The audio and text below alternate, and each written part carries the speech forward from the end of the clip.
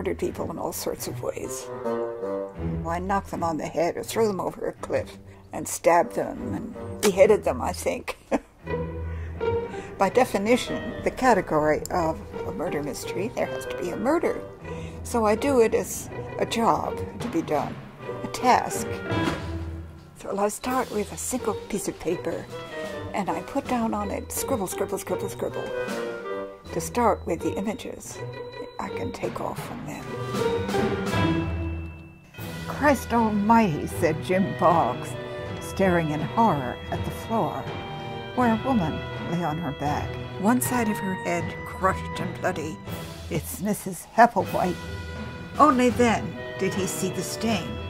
It was a long streak, as though something had been dragged. The streak was somebody's lifeblood. I drop splashes of blood on the page, because you've got to, and let it drip along. And somebody comes along and tries to mop things up, straighten things out.